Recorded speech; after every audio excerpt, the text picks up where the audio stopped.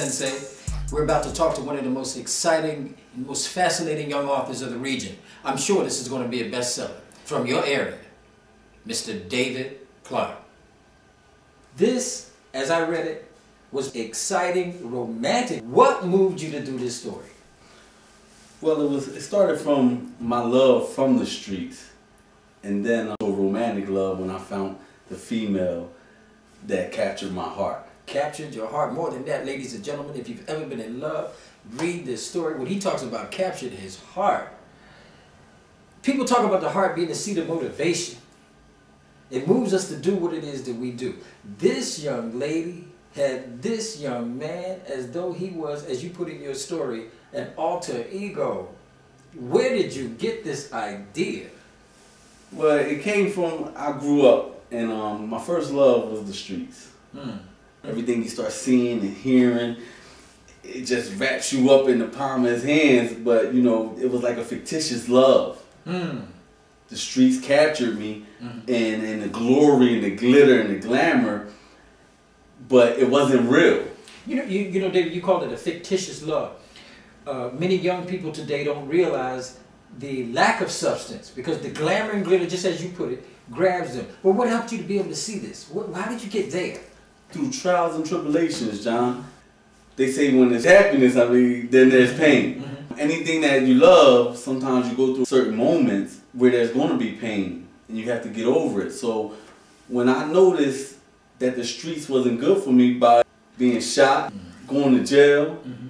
I love something that was never going to love me back. You know, I'm glad you said that because I was going to ask you, talk a little bit about um, be, before you met this incredible young lady. First of all, I wish you real. Ah, that's something y'all got to read and see. Now, now, David, I got to ask this question because I'm sure the readers of your book will wonder, what was it in the streets that made you feel such an incredible love? It's like a romance. Talk to me about that. I'm glad you asked that. There are so many romances in the street. Number one, money. It's easy to say money is the root of all evil when you're broke. So, David, uh, for our audience, what you're saying is the streets appear to provide um, a remedy for you. Now, and we know ultimately it wasn't real. Mean, so many of our young people get caught up in that. But your story talks about a conflict. There's so many people who have that good versus evil. And in your case, as we talk about an alter ego, it was an other you. Tell me a little bit about that struggle. That was another good question. No Ordinary Love takes my readers through right and wrong, good and bad, love, sex, violence, and peace. You know, in the story, you talk about some characters that are really important. One by the name of Eli. Now, to you in the audience, I want y'all to hear this because I think you could really relate to him. He was a movie star in the hood. He was getting money. Everywhere he went, he had 10 stacks in his pocket or better. Fat style clothes on,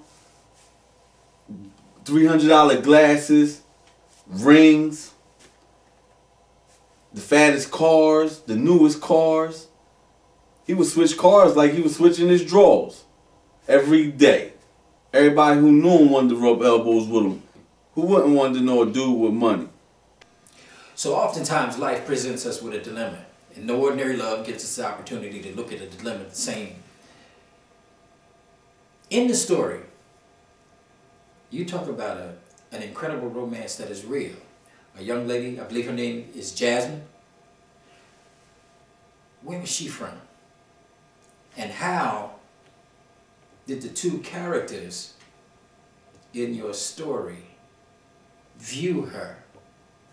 Jasmine was the type of girl who every brother loved, every mother was proud of, and every father protected. Eli looked at her like a fresh piece of meat.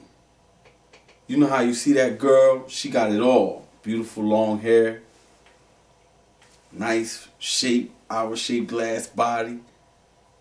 He wanted the boner. David, on the other hand, He loved her. It was like love at first sight. He liked everything about her. The way she walked, talked, the sound of her voice. I'm giving you too much. You're going to have to read the book. No Ordinary Love.